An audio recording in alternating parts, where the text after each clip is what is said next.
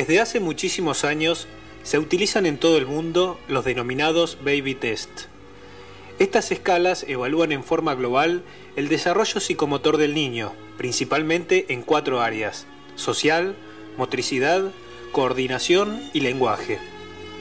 Los baby test, si bien han llenado un importante vacío en el diagnóstico, tratamiento y prevención en salud mental infantil, no contemplan adecuadamente el desarrollo cognoscitivo de niños muy pequeños. Con el avance de la psicología, surgió la necesidad de elaborar nuevas herramientas que permitieran la medición y evaluación de sus mecanismos intelectuales. Durante el desarrollo de la inteligencia del niño se distinguen dos grandes periodos, antes y después de la constitución de la función simbólica o semiótica, apareciendo esta última alrededor de los 18 meses. El primer periodo, del nacimiento a los 24 meses aproximadamente, concierne a lo que Piaget denominó la inteligencia sensorio-motriz. La inteligencia sensorio-motriz es la capacidad de resolver los problemas a partir de actividades en las que intervienen sobre todo la percepción, las actitudes, el tono y los movimientos, sin evocaciones simbólicas, es decir, antes de la aparición del lenguaje verbal. Dentro de este periodo sensorio-motriz, el niño comienza de a poco a relacionar objetos y actos, distinguiendo los medios de los fines, dándose cuenta de los resultados obtenidos y utilizando hacia el final de la etapa procesos de inferencias. En 1968 en Francia, las profesoras Casati y Lesin diseñaron una escala que fue la primera tentativa de elaborar una serie de pruebas estandarizadas basadas en las observaciones experimentales y controlables de Piaget sobre este periodo. Hacia 1981, Heusler elaboró en Chile el primer instrumento de evaluación del desarrollo intelectual para niños menores de dos años realizado en América Latina. La necesidad de contar con un instrumento estandarizado para el diagnóstico de bebés argentinos nos llevó a crear una nueva escala que se adaptara a la realidad de nuestro país y al momento histórico en que vivimos. Para ello, hemos elegido la escala de Casati y Lesin, sobre la cual hemos construido la Escala Argentina de Inteligencia Sensorio-Motriz, EAIS. La prueba original de Casati-Lesin fue revisada y se conservaron los aspectos cognoscitivos evaluados y el ordenamiento por estadio, pero se introdujeron algunas modificaciones en su administración, como por ejemplo la posición enfrentada del examinador con el niño, la presencia de un adulto ante la prueba, un protocolo más didáctico y sencillo que permite efectuar la evaluación del niño en el mismo momento de la administración, materiales ecológicos más seguros y atractivos y un criterio diferente de evaluación tal como se describe en el manual. La EAIS consiste en determinar el estadio por el cual atraviesa el bebé a partir de una serie de pruebas con distintos objetos y en cuatro situaciones diferentes. A. Exploración del objeto. B. Búsqueda del objeto desaparecido. C. Utilización de intermediarios. D. Combinación de objetos.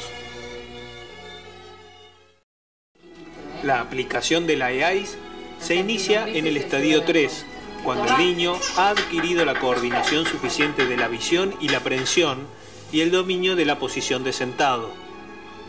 La escala cuenta con cuatro series de pruebas, cada una de ellas con sus determinados ítems. El orden de presentación de las pruebas es conforme a la descripción dada en el protocolo, donde se indican los ítems a evaluar, el estadio al cual corresponden, los materiales a utilizar y la cantidad de ensayos que se pueden efectuar. El administrador continuará con las pruebas hasta aquella en donde el niño responda negativamente.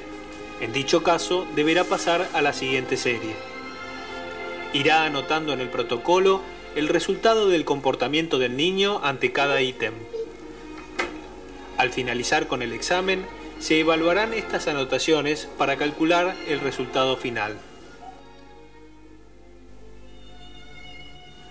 Luego de finalizada la administración de la escala, se procede a evaluar los resultados obtenidos por el niño, con el propósito de determinar el estadio por el cual está atravesando y corroborar si efectivamente se corresponde con el esperado para su edad.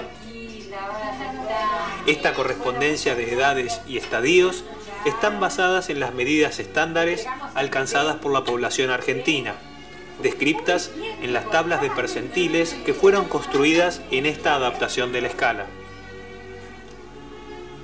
Con esta escala fue posible calificar a cada niño de acuerdo a los resultados obtenidos a partir de todas las pruebas administradas en un estadio resumen. Importa tanto el logro final alcanzado como el modo con el cual éste intenta solucionar la situación propuesta. Los métodos de evaluación se describen detalladamente en el Manual de Administración de la Escala.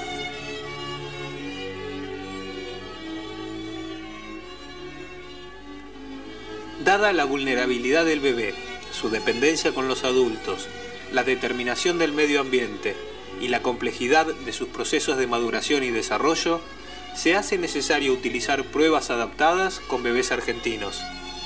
El contar con instrumentos propios para la evaluación de nuestra población enriquece la perspectiva biopsicosocial de la primera infancia.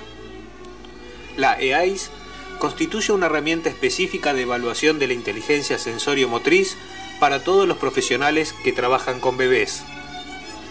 Para los pediatras, quienes trabajan con pacientitos que nacieron prematuros o padecieron patologías neonatales, ya que permite realizar diagnósticos diferenciales de aquellas áreas del desarrollo comprometidas en niños pequeños.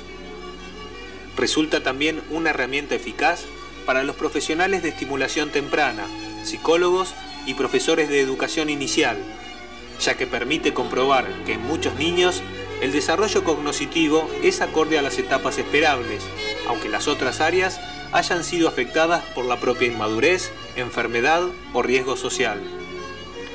Ofrece a los padres pronósticos más precisos de sus niños y la posibilidad de obtener una orientación más específica, calmando la ansiedad lógica que provoca un nacimiento antes de tiempo, la internación temprana de un bebé o el propio interés de los padres de acompañar el desarrollo de sus hijos.